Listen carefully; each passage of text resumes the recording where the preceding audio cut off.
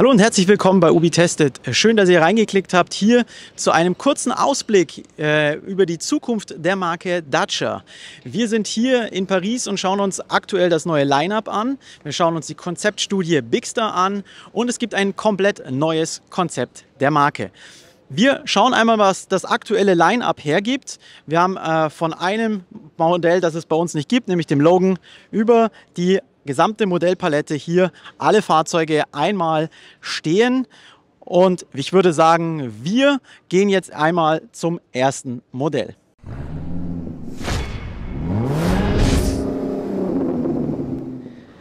Das Einstiegsmodell bei Dacia ist der Sandero. Auch der hat jetzt sozusagen ein neues Farbschema bekommen. Wir sehen hier ein schönes Uni-Grau. Wir haben standardmäßig immer LED-Scheinwerfer bei allen Modellen und neu ist jetzt die Front hier mit einem neuen Grilleinsatz und dem neuen Logo, das ein Link darstellen soll. Das heißt eine Verbindung von äh, Menschen oder der, mit der Marke. Das ist alles soll ein bisschen miteinander verknüpft werden und eben auch dem digitalen Zeitalter natürlich auch entsprechen. Der Sandero startet bei 9.600 Euro in der Basis. Es gibt die Ausstattung Ausstattungslinien Access, Essential und Expression. Das sind drei Lineups. Bei den Motoren gibt es einen 65 PS Basisbenziner, Saugmotor Dreizylinder und dann gibt es noch äh, zwei Turbo-Benziner und zwar TCE 90 mit ähm, Handschaltgetriebe und TCE 90 mit einem stufenlosen Automatikgetriebe sowie einen Autogas-Variante mit 100 PS Leistung in der Spitze. Als nächstes gehen wir dann zum Duster. Der Dacia Duster ist die wohlgemerkt die Cash Cow auch hier bei Dacia und äh, ist so bisschen meiner Meinung nach, ich glaube, everybody's Darling. Als SUV natürlich sehr gefragt. Jetzt auch nochmal eine Modellpflege erst kürzlich erhalten. Auch hier mit LED-Scheinwerfern, neuer äh, Lichtgrafik in den Scheinwerfern. Auch hier haben wir wieder den Fronteinsatz jetzt bekommen mit dem neuen Logo. Und wir haben auch hier eine neue Lackierung, ein eher ja, schlichtes Uni-Grün. Ich finde, das steht dem Duster ganz gut, auch mit diesen silbernen Elementen hier in der Ausstattungslinie Journey, die hier die höchste Ausstattungslinie darstellt. Den Einstieg bildet ein 1 Liter Dreizylinder Turbobenziner mit 90 PS. Darüber rangiert das Autogas-Modell mit 100 PS. Und dann gibt es noch die 1,3 Liter Vierzylinder Turbomotoren aus der Kooperation mit ähm, Renault und Mercedes. Die leisten dann 130 PS oder 150 PS. Die Top-Variante mit 150 PS gibt es dann auch als Allradversion oder aber mit einem Doppelkupplungsgetriebe mit sechs Stufen. Zudem gibt es auch den Duster als einziges Dacia-Modell derzeit noch mit einem 1,5 Liter Turbodiesel und 115 PS. Darüber gibt es dann ein neues Modell und das ist der Dacia Jogger. Den Dacia Jogger hatte ich euch auch schon hier auf dem Kanal vorgestellt und er ist das im Grunde genommen perfekte Familienauto, das Dacia derzeit im Programm hat. Sowohl als 5 als auch als 7 Sitzer erhältlich. Die 7 Sitze ganz vorteilhaft, man kann die zwei Einzelsitze perfekt rausnehmen, hat dann einen vergrößerten Laderaum ähm, und unter der Motorhaube gibt es zwei 90 PS Triebwerke mit ähm, 1 Liter Hubraum, Dreizylinder natürlich und es gibt dann noch eine 110 PS Variante, ebenfalls der 1 Liter Dreizylinder Turbobenziner. Diesel gibt es hier nicht, dafür aber für Sparfüchse eine Autogas-Variante mit 100 PS Leistung. Da fehlt doch noch sowas, also schauen wir uns noch den Sandero Stepway an. Der Dacia Sandero Stepway hat ebenfalls die neue Front bekommen mit dem neuen Logo. Und hier sehen wir sogar auch, dass der Stepway mit den Offroad-Beplankungen, die wir hier haben, dem Jogger eben ähnelt, beziehungsweise der Jogger hier auf der Stepway-Variante aufbaut. Und auch dieser hat nämlich die flexible Dachreling, die wir hier oben haben, die ganz einfach ummontiert werden kann. Man braucht da einfach nur noch einen Schraubenschlüssel. Auch hier wieder eine neue Farbe, wie wir sehen, auch beim Duster und beim beim Jogger. Das ist so ein bisschen matschig grün. Ich finde, es steht hier ebenfalls gut. Auch hier haben wir wieder die silbernen Applikationen des Top-Modells. Was wir hier haben, das ist nämlich der Ext äh, Expression Plus genannt. Bei den Antrieben gibt es hier beim äh, Stepway übrigens nur 90 PS äh, und 100 äh, PS als Eco-G genannte Autogas-Variante. Aber es fehlt sogar noch einer und zwar der voll elektrische Dacia Spring. Der Dacia Spring ist die voll elektrische Variante hier des äh, Renault Quid genannten chinesischen Modells. Und nachdem man in China schon so viele Fahrzeuge produzieren konnte, hatte man die Möglichkeit, aufgrund der Skaleneffekte schlicht und ergreifend ein günstiges Modell hier nach Europa zu bringen. Und das ist hier der Dacia Spring. Wir müssen nicht darüber reden, er ist relativ einfach gestrickt mit 45 PS äh, maximaler Leistung, einer Batterie von 26,8 Kilowattstunden, Reichweite 230 Kilometer und optional gibt es einen CCS-Ladeanschluss, der sich im ebenfalls hier neuen Kühlergrilleinsatz befindet in der Mitte, also ein, ein sogenannter Nasenlader ist. Die Ladezeit ist aber auch wirklich lang, also hier ist es dann schon eher eine Schnarchnase. Wir müssen aber sagen, das Fahrzeug geht einfach darum, einfach wirklich günstig von A nach B zu kommen. Günstig ist er allerdings nicht mit einem Einstiegspreis von über 22.500 Euro vor Abzug sämtlicher Förderungen und das haut dann schon ganz schön rein. Aber jetzt erkennt ihr sozusagen das aktuelle Line-up und ich würde mal sagen, jetzt werfen wir mal einen kleinen Blick in die Zukunft von Dacia das erste Fahrzeug, das Dacia jetzt vorgestellt hat und das auch wirklich so wahrscheinlich zu rund 90 Prozent kommen wird, steht hier. Das ist der Dacia Bigster. 4,60 Meter lang ist er und er zeigt auch hier schon ganz neu eine neue Leuchtengrafik, die wir hier haben. Voll-LED-Scheinwerfer wird er mitbringen. Die werden wahrscheinlich so aussehen wie bei den aktuellen Modellen von Jogger und Sandero. Äh, aber dieser beleuchtete Kühlergrill, das könnte in der Tat ein neues Designelement sein, was Dacia hier mitbringen wird. Ein weiteres Thema sind recycelte äh, Kunststoffe.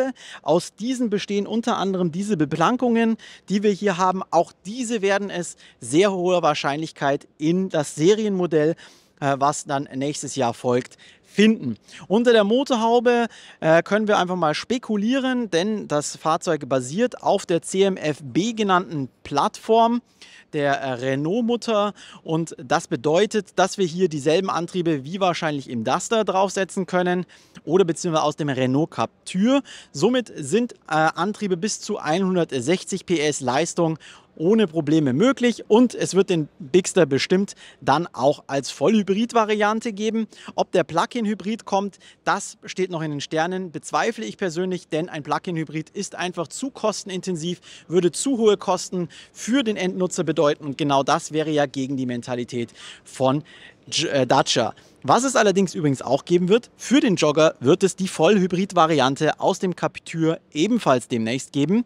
Also auch hier gibt es nochmal Entwarnung für jemanden, der etwas mehr Leistung bräuchte. Das heißt, wir werden uns hier beim Leistungsspektrum wahrscheinlich bei 100 bis ungefähr 160 PS bewegen. Am Heck sehen wir dann auch hier wieder eine neue Leuchtengrafik, Voll-LED-Scheinwerfer, äh, Rücklichter, auch hier Voll-LED-Scheinwerfer an der Front und auch hier das beleuchtete Dacia-Logo wird es so wahrscheinlich nicht geben, sondern das wird es dann eher so geben wie bei den anderen Modellen aus der Ist-Zeit. Das hier ist jetzt noch nahe Zukunft, aber Dacia möchte uns ja auch schon ein bisschen einstimmen auf das, was man so vorhat. Und das sehen wir dann beim Dacia Manifesto genannten Konzeptstudie, die wir uns einmal so ganz kurz ansehen können. Und hier ist die Sensation aktuell und zwar der Dacia Manifesto. Wie wir sehen, äh, ein durchaus sehr skurriles äh, Gefährt, was wir haben. Ein Zweisitzer, ähm, so wie es auch ausschaut, über den Antrieb wurde nicht gesprochen, eine voll elektrische Variante. Ähm, wir haben hier einfach nur mal eine Konzeptstudie zum Spielen der Marke. Es soll hier einfach noch ein paar Sachen aufzeigen, was man in der späteren oder in der nahen Zukunft irgendwann mal umsetzen könnte. Es geht hier um Nachhaltigkeit durchaus. Wenn wir da einfach mal genauer schauen, Nachhaltigkeit wird hier in dem Fall umgesetzt. Wir haben recycelte Kunststoffe auch hier an den Radläufen unter anderem verbaut, die wir schon beim Bigster Konzept gesehen haben. Dann haben wir hier Reifen, die aus äh, recycelten ähm, ja, Gummi wiederhergestellt wurden. Das sind ähm, schlauchlose Reifen, das sind äh, luftlose Reifen. Das heißt also, hier kann man halt schlicht und ergreifend so ein bisschen Outdoor erleben. Outdoor ist auch ein, wesentlicher Part der ähm, Thematik, die Dacia eben bespielen möchte. Das Auto soll robust sein, es soll ähm, von den Kosten her erreichbar sein für die Leute und es soll halt auch einfach praktikabel sein. Praktikabel sind die Details, die wir im Innenraum dann haben, wie äh, einzelne Clip-Up-Möglichkeiten von Devices oder Getränkeboxen, was wir zum Beispiel auch sehen werden dann im zukünftigen Dacia Duster, der etwa 2024 zu den Händlern kommen wird, beziehungsweise auch dann vorgestellt wird. Wir sehen hier am Heck auch eine komplett neue Grafik. Das heißt, hier sehen wir auch wieder das beleuchtete Dacia-Logo. Und das Dacia-Logo so beleuchtet haben wir eben auch bei der Konzeptstudie Bigster gesehen. Beim Bigster ähm, ist es eben auch so ein Thema, ist es seriennah oder nicht. Es wäre in meinen Augen sicherlich umsetzbar, aber da geht es halt um Regularien, die das Ganze dann aufweisen. Wir sehen hier unten tatsächlich eine Power Station mit, 200, äh, mit 2250 Wattstunden, die wir hier haben. Also das sind die Akkupakete.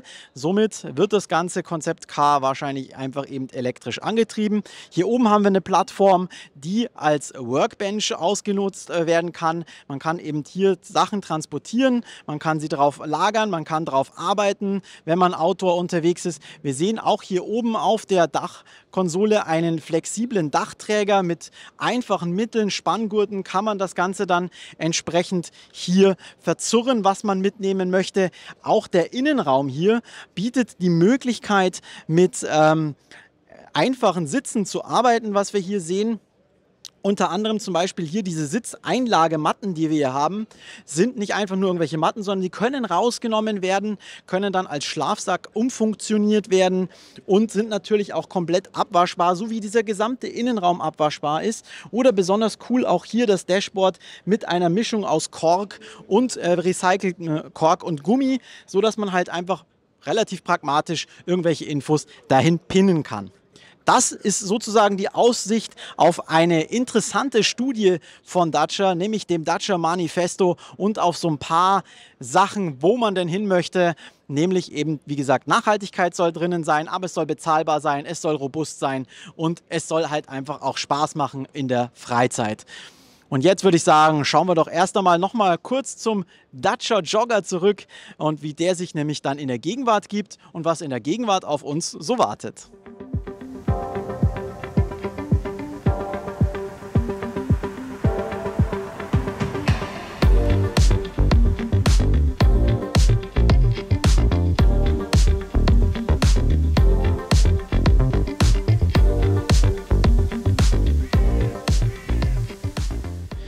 Wir sind wieder in der alten Welt angekommen. Das sehen wir tatsächlich hier am aktuellen Dacia-Logo, das hier auf meinem Testwagen prangt, nämlich einem Dacia Jogger. Äh, auf meiner Strecke bin ich aktuell jetzt 1693 Kilometer mit dem Jogger gefahren und wie wir sehen, der Verbrauch lag bei sehr erfreulichen 6,2 Litern. Ihr habt jetzt schon bereits gesehen, was Dacia in Zukunft, in naher Zukunft und auch in ferner Zukunft so ein bisschen vorhat. Jetzt wollen wir natürlich eben noch den Blick auf die Ist-Zeit werfen und die steht hier in Form des Dacia Jogger Extreme, den wir hier als Testwagen noch stehen haben. Und natürlich möchte ich euch ein paar Worte zu meinen Erfahrungen mit dem Wagen geben. Der Wagen lässt sich unheimlich harmonisch fahren, ist sehr komfortabel, auch auf der Langstrecke. Ja, der Innenraumgeräuschpegel ist durch die Windgeräusche relativ laut. Das Fahrzeug ist etwas hellhöriger. Der Dreizylinder, ein knurriger Kerl, läuft gerne etwas unrund im Leerlauf, hat aber genügend Kraftreserven, auch auf der Autobahn. Einfach mal ein, zwei Gänge runterschalten, schön ausdrehen lassen und dann geht es auch munter und flott voran. Meine Geschwindigkeit lag auf der Autobahn so um die 140 km/h Reisegeschwindigkeit, wenn möglich. Und natürlich ist auch genügend Platz hier im Dacia Jogger. Weil wenn wir dann ihm hier hinten in die Heckklappe reinschauen, dann sehen wir, wir haben hier die Variante mit sieben Sitzen bekommen. Und da sehen wir schon, wenn das ein Siebensitzer ist, Dann passen hier nochmal ungefähr so zwei Trolleys schön hintereinander bzw. aufeinander drauf. Und wenn wir eben die Sitzplätze im Alltag nicht benötigen, dann ist es einfach, die hier umzuklappen. Und das sehen wir auch, wenn das Laderaumrollo hier installiert ist, dann ist das auch immer noch kein Problem. Dann können wir diese Sitze auch einfach noch problemlos hier aufstellen. Und dann haben wir schon einen durchaus gut nutzbaren Kofferraum. Wenn dann noch diese Wanne hier rausgenommen wird, dann ist das Ganze auch recht eben. Und wenn euch das Ganze stört, die zwei Sitze einfach ausbauen. Die sind auch wirklich leicht. Und dann habt ihr die Möglichkeit, noch die Rückbank umzulegen, auch so zu falten. Und dann habt ihr echt einen richtig großen Laderaum. Was man daraus bauen kann und das Dacia auch hierüber nachdenkt, das seht ihr übrigens in einem weiteren Video von Paris, nämlich zum Ausbau, was Dacia demnächst vorstellt. Kommen wir noch einmal hier ums Auto herum. In Terracotta Braun steht da hier. Extreme ist das Sondermodell. Das sehen wir hier durch diese ja, Carbon angedeuteten äh, Klebestreifen. Wir haben auch schwarze 16 Zoll Aluräder hier verbaut. LED-Scheinwerfer sind, wie gesagt, Serie und das ist ein echtes Highlight. Das konnte ich jetzt eben auch bei vielen Nachtfahrten feststellen. Die Reichweite ist wirklich gut von diesen äh, LED-Scheinwerfern. Das Fernlicht wird über äh, Glühbirnen umgesetzt. Finde ich etwas schade, könnte man eigentlich auch nochmal anders umsetzen, aber in meinen Augen reicht das Abblendlicht hier völlig aus. Zum Motor habe ich wie gesagt schon ein paar Worte gesagt. Jetzt kommen wir noch zum Preis. Der Einstieg beim Dacia Jogger liegt bei 16.100 Euro, dann mit 90 PS als sogenannte Essential-Variante. Und wer jetzt hier den Extreme Plus haben möchte mit 110 PS, Dreizylinder, Siebensitzer und Vollausstattung, liegt der Wagen dann tatsächlich bei 21.600 Euro. Das ist sogar verglichen mit dem Dacia Duster etwas mehr Geld, aber in meinen Augen immer noch ein echt gutes Preis-Leistungs-Verhältnis, was wir hier aufrufen können. Wie gefällt euch der neue Markenauftritt äh, der Marke Dacia? Wie gefällt euch der Dacia Jogger? Welches wäre euer Lieblingsmodell im Dacia-Programm? Und was sagt ihr zu den Neuheiten? Schreibt mir das unten in die Kommentare. Vergesst den Kanal nicht zu abonnieren. Und dann sehen wir uns auch demnächst wieder hier bei Ubi Tested. Schön, dass ihr reingeklickt habt. Tschüss und Servus, euer Ubi.